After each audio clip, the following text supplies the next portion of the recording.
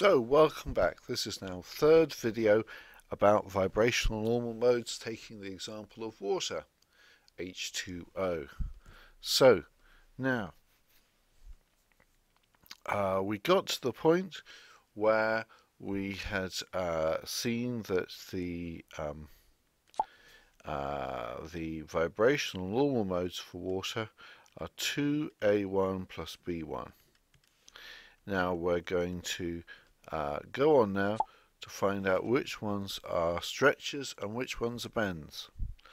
So let's uh, call this a little subsection stretches and bends. This sounds like a sort of warm-up video. Right, so stretching uh, and bending vibrations. Now, the way we find these is that uh, the stretches,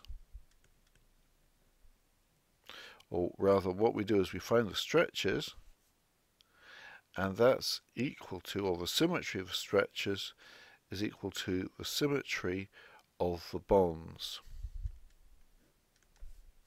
So here, for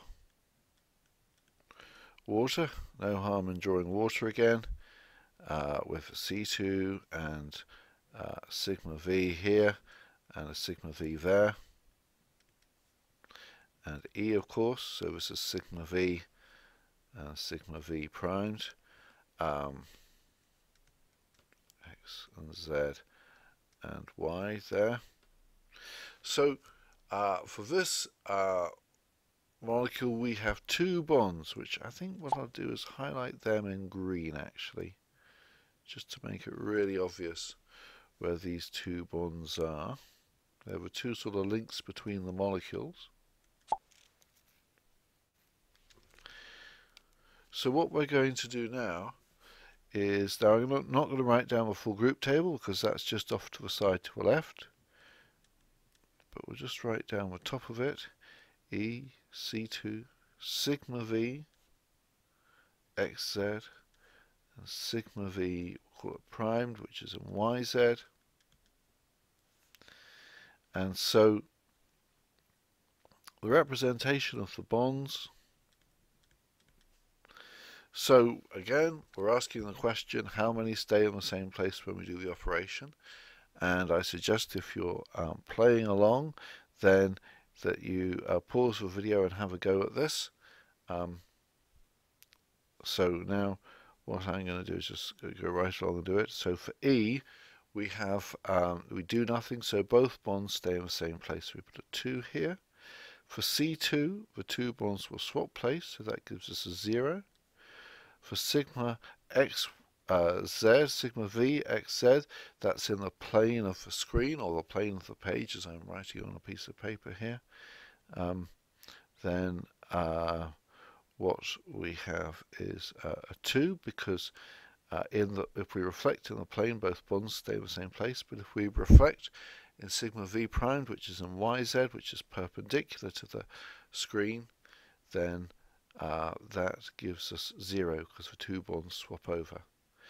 Now, we can do the same sort of process that we went through uh, down here to figure out um, uh, exactly what uh, this representation is to reduce this representation to the irreducible representations. I recommend that you have a go at doing this and pause the video, but um, I'm just going to write down the answer here. So the answer is A1, it's equivalent to A1 plus B1. And these are the stretches. So that must mean that the bending are equal to A1 because that's for vibrations minus the stretches.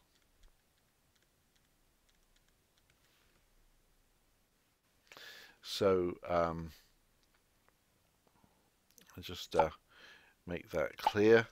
If we have um, vibrations of 2A1 plus B1 down here, and we're going to take away the stretches which are A1 plus B1 we are left with just A1 as a bend left over. Okay? Hope that's clear. So um, now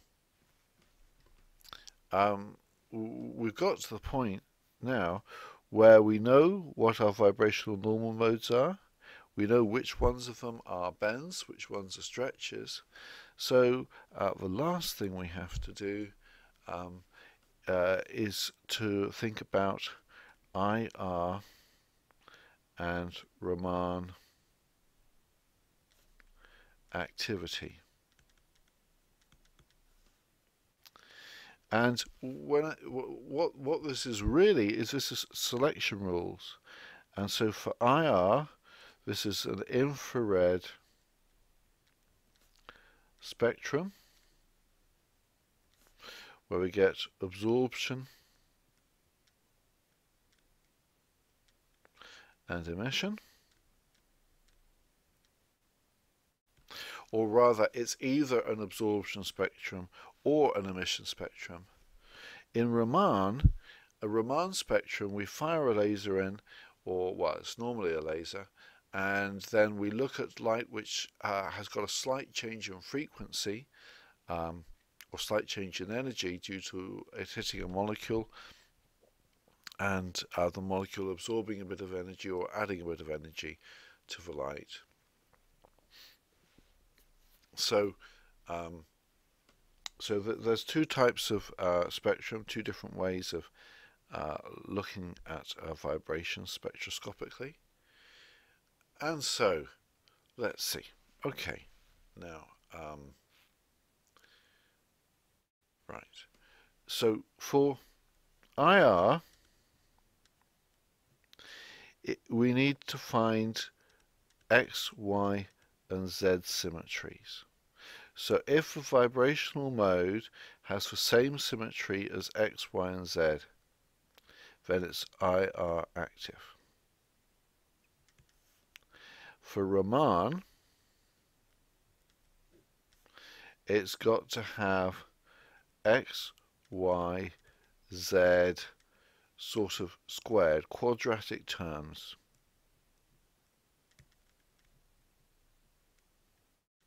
So for example, that could be xy, that could be z squared, that could be x squared minus y squared, etc. There's lots of them. So any quadratic terms uh, will, um, will will give uh, uh, Raman activity. Now, uh, I'm going to highlight in green again. If we have a look at the group table in the middle of, of the screen, then uh, what our modes are is we have A1 and we have B1, two different modes.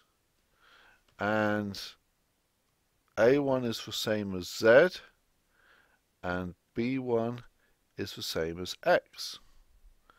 And also A1 is the same as X squared and Y squared and Z squared. And B1 is the same as XZ okay and so because of those terms appearing there what that means is that we can sort of summarize the activity with a little table where we say IR and Raman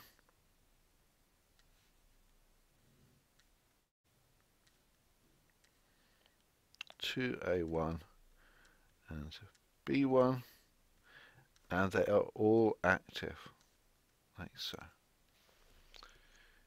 Okay, so that's a sort of handy way of representing the activity. And so what that means is that in an infrared spectrum, you would expect for water to see three vibrational modes contributing to that spectrum. And in, a Raman spectrum for water, you'd also expect to see the same three vibrational modes uh, contributing. Okay, so now um, the last thing that um, I want to do in this video is actually just draw some little pictures to show you what these vibrations look like. So uh, for the stretches, we have one which sort of looks like this. We draw the water molecule. We've got uh, the oxygen going up, the two hydrogens going out. And um, it doesn't look very symmetrical, but that's meant to be the symmetric stretch. So both bonds lengthen at the same time, as opposed to what we have just next to it.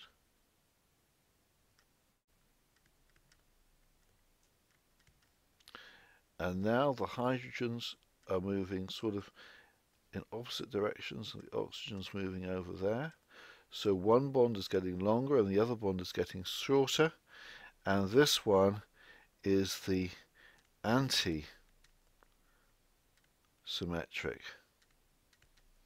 stretch. And this has got symmetry A1 and this has got symmetry B1. Now for the bend, bending vibration, what we have is something that looks a little bit like this. There's our water. Two hydrogens move together and maybe the oxygen moves up a little bit. And again, that has got symmetry of uh, A1.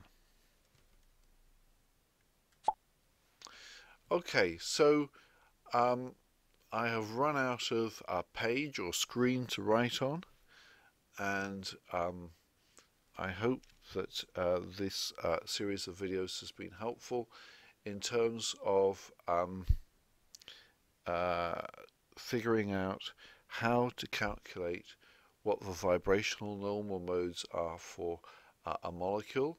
We've gone through the example of water. We've figured out what the normal uh, modes are. They've got symmetries 2A1 plus B1 and uh, we've figured out which ones are stretches and which are bends. Now, the final thing uh, I, I, want to uh, point out is uh, that um, uh, down here we're looking at the different stretches and bending vibrations, what they actually look like. Um, here, this uh, can be done with group theory. It's a little bit more complicated um, to do, um, but uh, you need to use a projection operator, and um, I'm not going to cover how to do that. Um, but I really show those uh, diagrams just um, for completeness to show what those uh, vibrations look like. The other thing which um, is a bit of a pitfall uh, if you go on to uh, look at other molecules um, and that is uh, just be aware that when you have gamma of x, y and z in the E column it must give you 3 always because x, y and z are always 3 together with uh, in E and um, if we you, if you look at group tables, there are some groups where you have doubly degenerate or triply degenerate groups. So, for example, in uh, C3V, then Z is A1, and it's sort of X and Y together are E. And you have to be careful that X, y and z together are a1 plus e. You don't need to add uh, the um, you don't need to add the e twice. Uh, the e is doubly degenerate. It contains x and it contains y together at the same time. Um, so if you do add e twice, you'll find that uh, here uh, for E with the representation for X, Y, and Z, what you'll get is a number 5, and uh, that's something to to avoid. It should always be 3, because there's always three dimensions. When we do nothing, they should uh, stay uh, there. Okay, I think that's the uh, end of this um, talk. There is one final point which uh, is uh, relevant to uh, IR and Raman activity, which is just a handy little rule to be aware of. And that is if a molecule has I, if it has inversion symmetry, then no mode is both IR and Raman active. It can be IR active, it can be Raman active, it can be neither IR nor Raman active, but it cannot be both if you have inversion as uh, one of your symmetries. Okay, right? So that is uh, all for now.